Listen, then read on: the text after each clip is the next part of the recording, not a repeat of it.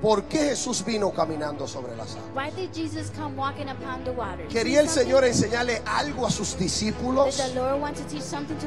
Yo creo que el Señor les quería enseñar algo a ellos y algo a nosotros hoy. ¿Qué el Señor quería cuando Él vino caminando sobre las aguas? What did the Lord want when he was walking upon the water? El Señor quería que la fe de ellos creciera. He wanted their faith to increase. Palabra, el Señor le estaba diciendo, In other words, the Lord was telling a lo que ustedes le tienen miedo what you are afraid está bajo mis pies is under my feet. y yo camino sobre And eso. I walk Por lo tanto, lo que Él le estaba diciendo era, So therefore what he was saying was, lo que a ti te da miedo what you're scared of está bajo los pies de Dios. is under the feet of the Lord. Y Dios lo que dice hoy es, today, Dios dice, yo quiero que tu fe crezca. Por eso el título es, ¿cuál es el beneficio de tener fe? That's why that title is What is the benefit of having faith? Beneficios de tener fe. Benefits of having faith. Tu fe cambia a otros. Your faith changes others. Muchas personas critican a Pedro por haber dudado en el proceso. Many people criticize Peter for doubting in his Pero process. yo soy uno de los que siempre ha dicho, pero si Pedro But I believe that if Peter tuvo poca fe, had little faith, entonces cuántos los que se quedaron arriba y no se atrevieron a hacer nada.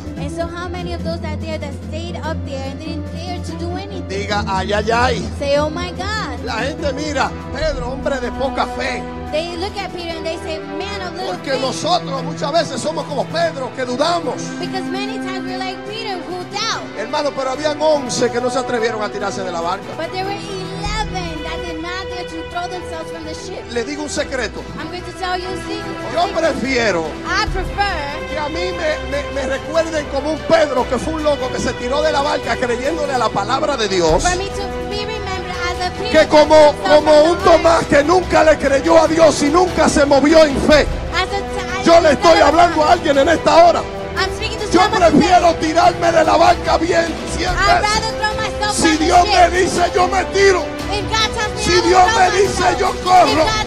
Si will Dios me dice yo voy a Júpiter. Dígale que está a su lado. Recuérdame como el loco que se tiró de la barca. Recuérdame como aquel que se estaba ahogando pero caminó sobre las aguas. Ay, yo solamente estoy esperando que Él me diga para yo to Solamente estoy esperando que Él me diga para yo tirarme.